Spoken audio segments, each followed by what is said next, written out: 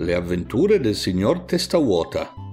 Ed ecco una fiaba popolare di origine inglese. Il signor Testavuota va ad abitare su un albero e si ritrova con un mucchio di denaro. Come finirà la giornata del signor Testavuota? Ascoltate e scopritelo il signor Testavuota abitava insieme alla moglie in una grande bottiglia di aceto. Un giorno la moglie, che era una brava casalinga, stava facendo le pulizie nella loro bottiglia, ma dopo un colpo sfortunato del manico della scopa, la casa cominciò a fare un gran rumore e a poco a poco andò in pezzi e si distrusse completamente. Rimase in piedi soltanto la piccola porta di legno.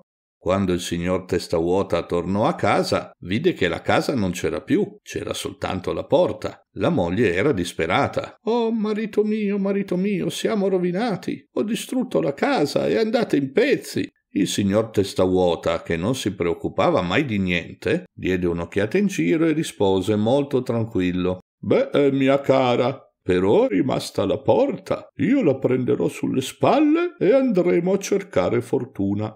Così camminarono tutto il giorno e al calar della notte si trovarono in un fitto bosco. Erano molto molto stanchi e il signor Testavuota allora disse alla moglie Mia cara, io salirò su un albero, mi porterò dietro la porta, poi la accomoderò fra due rami ed ecco che avremo un bel letto per la notte. Così fece, e allora si sdraiarono tutti e due sulla porta sui rami degli alberi e subito si addormentarono.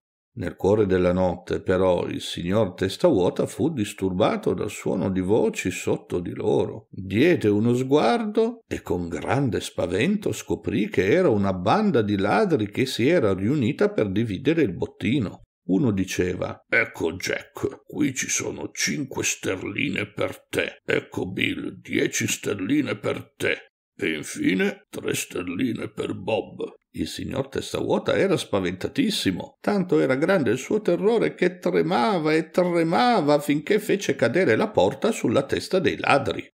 A quel punto i ladri scapparono via di corsa, ma il signor Testavuota e la moglie non osarono scendere dal loro rifugio lì aggrappati ai rami, fino a che non fu pieno giorno. Quando fu sicuro che non ci fosse nessun pericolo, il signor Testavuota scese il suo primo pensiero fu di vedere se la sua porta fosse ancora tutta intera. La sollevò e cosa vide sotto se non un mucchio di monete d'oro. Moglie mia, moglie mia, scendi, abbiamo fatto fortuna, abbiamo fatto fortuna, scendi, ti dico. Allora anche la moglie scese il più velocemente possibile e quando vide il denaro saltò di gioia. Oh mio caro, finalmente siamo ricchi. Adesso ascolta. Qui vicino, nella città, c'è una fiera. Prendi questi soldi e compro una mucca. Con la mucca io farò burro e formaggio che tu poi venderai al mercato e allora potremo vivere molto comodamente. Il signor Testavuota accettò la proposta con gioia, prese il danaro e si diresse verso la fiera. Quando arrivò camminò su e giù e alla fine vide una bellissima mucca rossa. Si vedeva subito che era una grande produttrice di latte, perfetta sotto ogni aspetto. Il signor Testavuota pensò Oh, se avessi quella mucca sarei l'uomo più felice del mondo.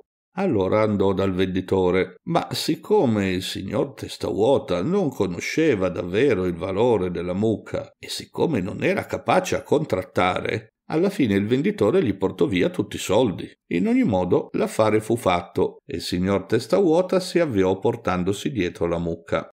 Poco dopo, a un angolo della strada, vide un uomo che suonava la cornamusa. Vide anche che i bambini lo seguivano dappertutto e che la gente gli buttava dei soldi da ogni parte. Allora il signor Testavuota pensò: Oh, se solo avessi quel bellissimo strumento, sarei l'uomo più felice del mondo e diventerei anche ricco in poco tempo. Così si avvicinò al suonatore di cornamusa. Caro amico, che bellissimo strumento! E quanti quanti soldi devi guadagnare? Beh, certo, lo strumento è molto bello, però io non è che guadagno così tanti soldi. Oh, non mi dici la verità? Ah, quanto mi piacerebbe possederlo. Me lo venderesti?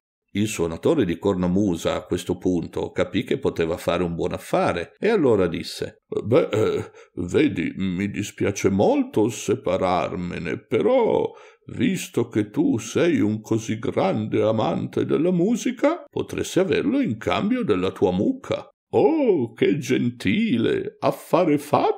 Disse il signor Testavuota felicissimo e convinto d'aver fatto il più grande affare del mondo. E così quella bellissima mucca rossa fu data in cambio della cornamusa.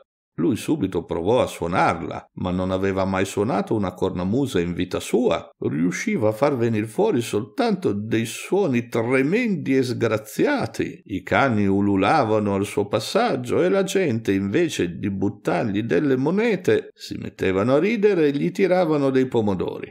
Ora, siccome era inverno e faceva freddo, il signor Testavuota pensò che non riusciva a suonare la cornamusa perché aveva le mani troppo fredde e proprio in quel momento incontrò un venditore di guanti e sciarpe. Il signor Testavuota pensò Oh, le mie dita sono così fredde. Se solo avessi quei bellissimi guanti, sarei l'uomo più felice del mondo e potrei suonare benissimo questa cornamusa. Allora si avvicinò al venditore di guanti. Caro amico, sembra che tu abbia dei bellissimi guanti. Beh certo, signore, tutti i miei guanti sono di ottima qualità e tengono le mani calde quanto più è possibile in questo freddo giorno di novembre. Ma il signor Testavuota non aveva più un soldo e alla fine il venditore disse Beh, potresti darmi la cornamusa in cambio di questo paio di guanti. Il venditore sapeva benissimo che la cornamusa valeva molto di più del suo paio di guanti, ma aveva anche capito che il signor Testavuota non era molto intelligente. Affare fatto! gridò subito il signor Testavuota. Diede la cornamusa e indossò il paio di guanti, che in realtà aveva comprato proprio per suonare la cornamusa, che però adesso non aveva più, e si avviò per andare a incontrare la moglie.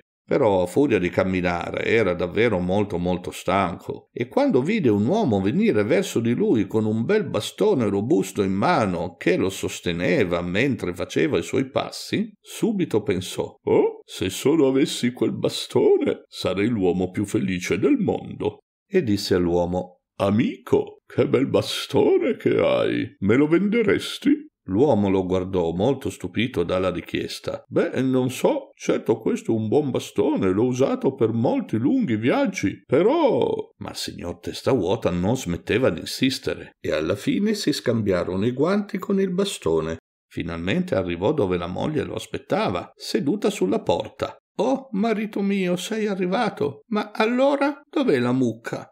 Ah, cara moglie, ho questo bastone, qualcosa di molto più prezioso della mucca. La moglie guardò il bastone, che era un comunissimo pezzo di legno intagliato. Ma come, marito mio? Un bastone? Sì, io prima ho speso tutti i soldi per comprare la mucca, ma poi l'ho scambiata per una cornamusa, perché di sicuro suonandola sarei diventato ricco. Ma poi mi sono accorto che avevo le mani troppo fredde per suonare la cornamusa, e allora l'ho scambiata per dei guanti. Eh, sono stato molto furbo. Allora avevo le mani molto calde, però nel frattempo le mie gambe si erano stancate e visto che ormai avevo le mani così calde, ho scambiato i guanti con questo bellissimo bastone, per cui il risultato è che io ho speso tutte le monete d'oro per avere questo bellissimo bastone. Non è meraviglioso, moglie mia? La moglie a quel punto andò su tutte le furie, gli prese il bastone e cominciò a rincorrere nel bosco. Sei l'uomo più stupido che io abbia mai incontrato vieni qui che ti do quello che ti meriti. E sembra che stiano ancora correndo adesso. Vi è piaciuta questa storia? Fiabe classiche e moderne, favole, storie per bambini sempre nuove. A presto!